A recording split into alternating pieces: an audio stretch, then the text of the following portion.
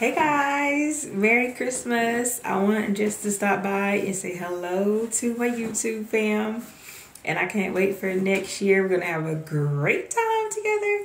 So, Merry Christmas and a Happy New Year. I pray you all have had a blessed day. I love you all. Bye.